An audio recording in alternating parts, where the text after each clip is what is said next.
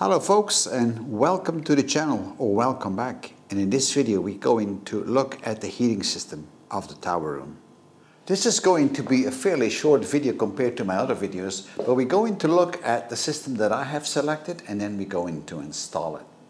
In the house that I have already renovated, which is on the left hand side of the farm, I have installed the traditional hot water uh, radiators and uh, water is heated up by a oil burner because I have no gas in the street. But the current legislation in my country uh, prohibits you to install a new oil burner. I cannot do that anymore. And there is no gas in my street either, so I don't have a lot of options left, except of course a heat pump. So now let's talk about a heat pump.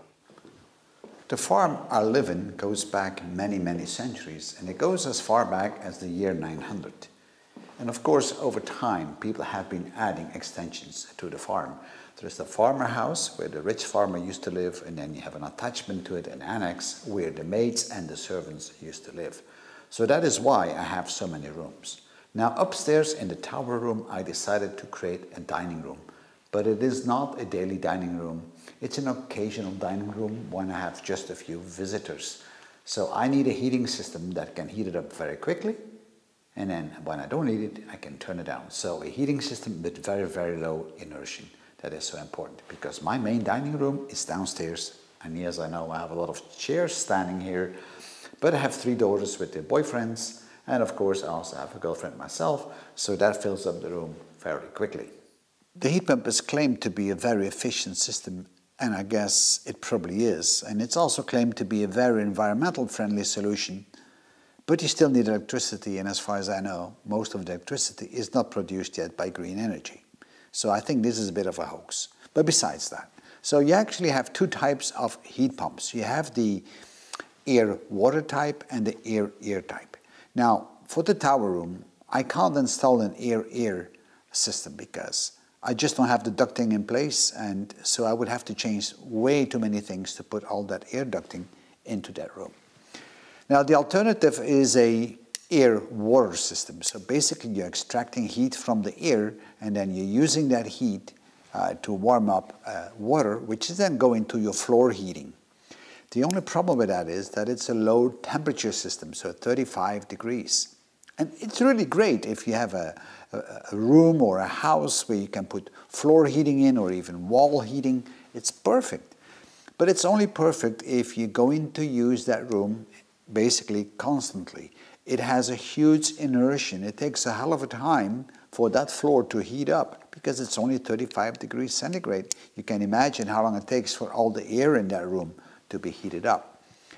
So for an occasional room, that to me doesn't fly. I will install it downstairs where we are, where we live in the kitchen and so on, but I'm not going to install it in the actual tower room there. I need to find a system that turns on very quickly and turns off very quickly. And therefore, I have opted for something very different. So I decided to go for an infrared heating system. So let's have a closer look on what that is and what it does for us, what are the advantages and the disadvantages. Now infrared is a wavelength of sunlight that you can't see. And it's that wavelength that warms you up when you stand outside in the sun in a winter's day. You can feel the heat on your face uh, because of the sun. In other words, infrared is heating up subjects, but it's not heating up the air, and that is very important. And that's why an infrared heating system is so interesting because it's not going to heat up the air volume in that room. It's going to heat up the uh, objects in the room. And we people, we are objects. The good thing about that infrared system is that they have avoided the harmful infrared area because there are some parts of the infrared uh, zone that are actually harmful for you. So we always talk about far end infrared for indoor heating. So make sure if you're going to buy an infrared heater that you go for far end infrared because you also have heaters for the outside and that's a different wavelength, it's a different technology. It's a very simple system you don't need a lot of infrastructure work. All what you're going to need is a power plug wherever you're going to install the panel. The panels, and you'll see them in a few seconds, are very nice. They blend in nicely. it, you don't even see them. You can put them on the ceiling, you can put them on the walls, you can place them wherever you want to place them, but of course you need to place them in the proper place. And again, uh, they only need electricity. Uh, they have an efficiency of one to one, so if it's a thousand watts panel, it's going to produce a thousand watts, which is really good. Of course, a heat pump is better. A heat pump is probably about 130% to, uh, of efficiency, which is of course better. But okay, uh, it has other drawbacks as we explained. The other thing about these panels is that it's, like I said before, it's heating up the subject or the object in the room and not the air. So in other words, if you have a little draft here and there, um, the air will escape, obviously. And if you're heating up the air with a normal convection system, then you're going to lose that heat. Now with infrared panels, you, we work with radiation, right? So we're having these infrared uh, rays coming at us and that warms us up and it's not the air itself. So that is a very positive thing. So overall, there is a tendency that these infrared panels are more efficient in these rooms that don't need to be heated up permanently. And depending who you talk to, you could have up to 7 to 10% more efficiency than with a normal radiator. So let's have a look on these panels, what this is about and what you're going to need to install it, and then we'll install it. Now, like anything else, you will have to dimension the panels. So how many watts do you need for that specific room? Well, that depends on the size of the room. So you multiply the length, the height, and the width together, and then you multiply it with X amount of watts. Now, how much these watts are, that depends on the type of the room. Is it a living room? If it's a bathroom? Is it a kitchen? Because you will need different temperatures in the different rooms, just like any other heating system actually. And it also depends very heavily on how well the house is insulated, if you have outer walls, if you have windows with double glazing or triple glazing. And as you have seen in the tower room, I have double glazing, I have a lot of insulation, I have very thick walls. So that room uh, is very, very well insulated. So I can get away with about 25 watts per cubic meter. And this is how I dimensioned my panels. I got two panels to meet my requirements.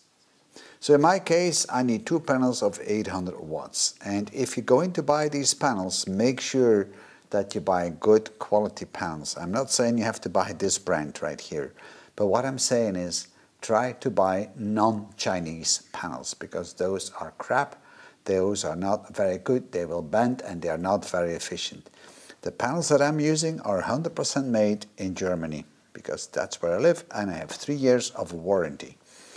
I also decided to have a wired thermostat uh, into the wall. So I have a thermostat in that room for those two panels and I can actually program it. You can also get a thermostat uh, which is based on Wi-Fi or even on an app. So this is really entirely up to you. The panels themselves, you can even have a picture on the panel. You can have them surrounded with LED lights. There's all kind of possibilities with those panels. In fact, I even have seen some that are like a mirror. So a lot of options on those panels.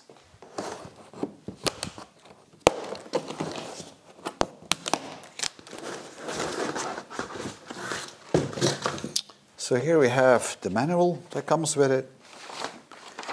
This is very handy, by the way. This is a piece of paper that you can put on the wall. And then all you need to know is where these markers are on that paper and that's where you put the uh, supports on so it doesn't fall off the wall. Very handy. And it even comes with a couple of uh, bolts. Put the panel either on the ceiling or on the wall. And in my case it's going to go on the wall. Now let's have a closer look on the panel itself. Trying to place it like this so you can see it a bit better. And this is the panel in a nice white RAL color and see how thick that is. It is about a centimeter and a half, nothing more than that. This is the place where I'm going to install the panel and you can see that I already have prepared a power outlet inside the plinth. So I placed my um, template on the wall on one side, made sure that it's right in the middle. Now I need to make it level and let's see so this is certainly not level it has to go up quite a bit and I think this way So that is now level. Just gonna put some more tape up so I can properly drill. So I'm going to pre-drill the hole in the right place.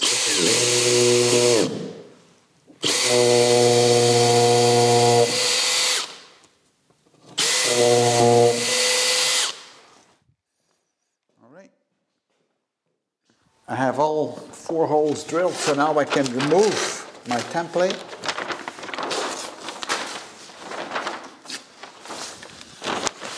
All right. Let's put the bolt in.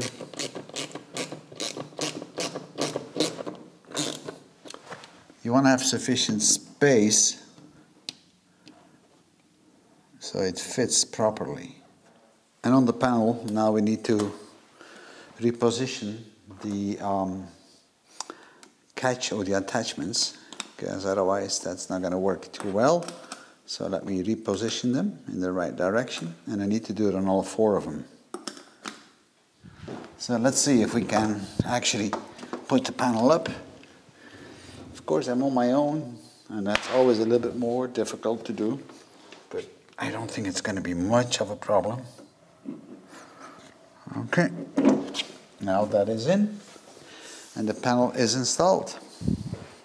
That is the panel now installed. I might cut off this cable a little bit because I think it's a little bit too long and I might turn around actually the wall socket so the cable goes up straight. But these are small things that I can do afterwards. But I think this looks quite all right and it's not that obvious that we have a panel here.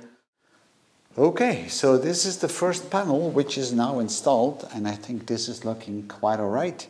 Um, it blends in nicely into the wall and um, it's present and it's not present and that's what I like about these panels. So now it's time for the thermostat. Now I already got my cabling coming out of the wall but the socket that I have in there, the housing itself is in the wrong direction. And so I need to rotate it because the thermostat fits to those two bolts and they should be horizontal. So that's the first thing I'm going to do now and just turn it around. And then we start looking on the schematic. I don't know if I can actually turn it like this. Yes, I can. That was a piece of cake. So now I need to lock that back into place. So I have my tubes already marked. So this is, uh, let's see, power in, and this is to my infrared. So we got a couple of colors here. My blue is my neutral. So I'm going to run on the neutral. My brown one is my life, basically, and then I have the shaded green yellow one. Uh, this is my ground. And I have the same inside this tube. So. And now we need to strip the cables. Now I know there's special strippers that you can use for this. But I like to use my little pliers here because I know more or less how deep I can cut. So here's the thermostat housing and the connector that goes in there. So this is where all the cables need to go to. And then the front part will plug in. So let's see um, how we need to cable that up. So this is the cable diagram that I'm going to use. The blue wire is also what I have. This is my neutral, so I will hook that up. So it's connected both to the N and to the cable going to my heating elements. And then my life, uh, which is the red one, in my case it will be a brown cable, uh, that's going to go to the life on the um, connector. And then it also goes at the same time to the COM. And then this is the switch that will turn on and off actually the heaters depending on the thermostat and then the other side goes back to the heating element. So let's start with that. And here is that little block um, with all the labeling on, so you can't really go wrong with it. And then on the other side you have the screws that you need to tighten up things. So let me hook that up and then I'll show you.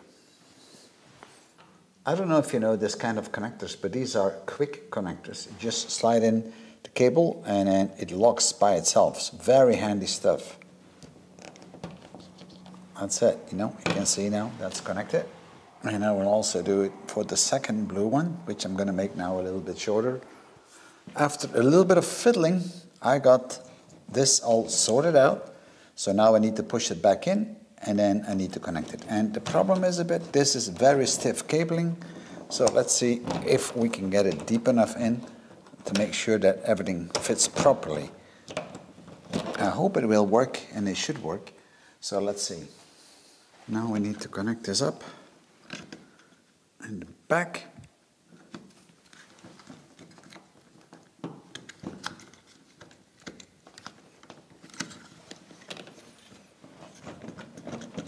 Push it all back and then lock it down with the two screws and we should be good.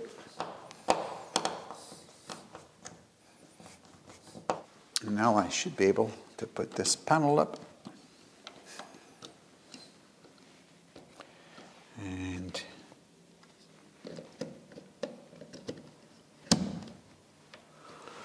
and now that is installed.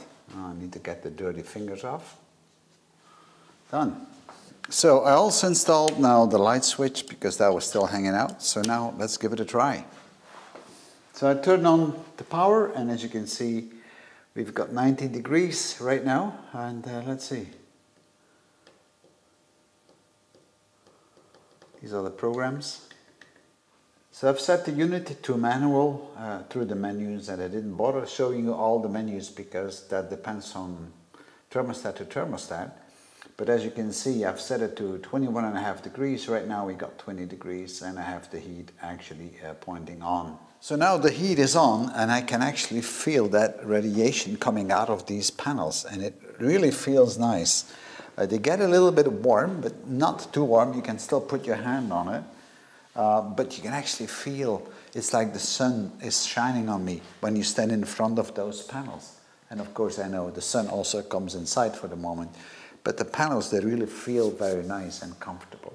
So I think this is going to be a very, very comfortable uh, arrangement with these infrared panels. And I think this was the right choice for this room. But of course, the proof is in eating the pudding, and we'll see when it gets colder outside what this is going to do. So folks, we've come to the end of this video, and I really hope that you enjoyed it. And what you have seen is that the installation of infrared panels is really not all that difficult. Of course, time will tell uh, if those are really efficient and if they can really heat up the room in the wintertime, because right now outside it's around 18 to 19 degrees centigrade. So it's very hard to say that it can heat up the room. But I could actually feel the radiation when I was standing about three meters away from them. So I think this will be quite all right. In my next video, I'm going to talk about the lights that we have installed right here in the tower room. And then there's one more video where we're going to look at some of the finished room with all the furniture and ornaments that I have placed inside. That will be an additional video. Thank you for viewing. Bye-bye.